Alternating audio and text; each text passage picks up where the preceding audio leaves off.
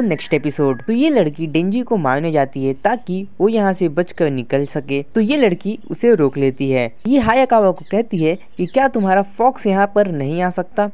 तो हायाकावा कहता है कि नहीं, ये जगह बाहर से एकदम हटकर है, इसलिए वो यहाँ नहीं आ सकता। तो ये कहती है कि अच्छा मैं अपनी इसे गोश्त डेविल से ख़त्म करती हूँ, लेकिन वो इससे और बड़ा हो जाता है। वो मॉन्स्टर कहता है कि मेरा हार्ट यहाँ पर नहीं है, ये मेरा इनसाइड स्टॉमक है और एथ फ्लोर पर मेरा कुछ भी नहीं है। तुम इसे कॉन्ट्रैक्ट करो, तभी तुम लोग इस जगह से निकल सकते हो। तो डिंजी कहता है कि अगर तुम लोग मुझे मार भी दोगे, तुम लोगों को ये यहाँ से नहीं निकलने देगा। तो ये कहती है कि नहीं डेविल इसे कॉन्ट्रैक्ट कहते हैं और जब ये कॉन्ट्रैक्ट करते हैं तो उसे निभाते हैं। और अगर वो इसे नहीं निभाएँगे तो वो खत्म हो जाएँगे। ये कहता है कि क्या हमें डेंजी को खत्म कर देना चाहिए?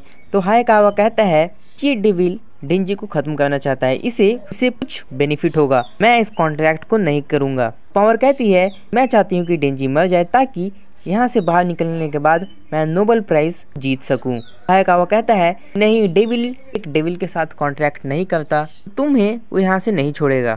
वो वहाँ बैठकर वहाँ से निकलने के लिए प्लान बनाते रहते हैं। डेंजी कहता है कि तुम अपना तलवार क्यों नहीं करते? तो ये कहती है कि अगर बहुत सिचुएशन खराब भी रहा तो ये तलवार हम यूज़ नहीं करेंगे। अगर ऐसा होगा तो हम तुम्हें ख़त्म करेंगे। ये वहाँ देखता है कि बेड पर खाना नहीं है और कहता है कि खाना किसी ने खा लिया। वो पावर से कहता है कि तुमने खाना को खा लिया।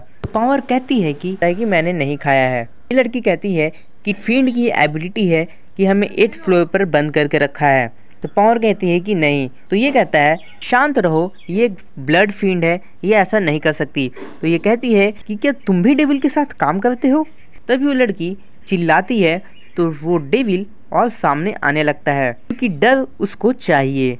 वो सब रन करने लगते हैं और तभी सारे फ्लोर मुड़ जाते हैं और वो उसके मुँह में गिरने वाले होते हैं। तो हायकावा कहता है कि, क्या मैं वो तलवार यूज़ करूँ?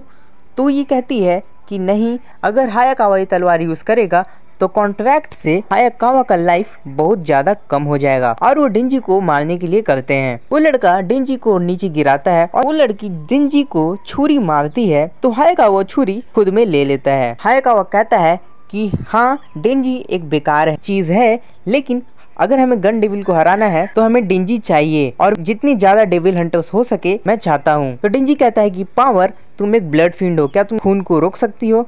तो पावर कहते हैं कि हाँ। वो इनसे पूछती है कि, हम क्या करें? डिंजी कहता है कि, ठीक है, मैं खाना बनने के लिए तैयार हूँ, लेकिन बिना एक फाइट के मैं नहीं खत्म होऊँगा।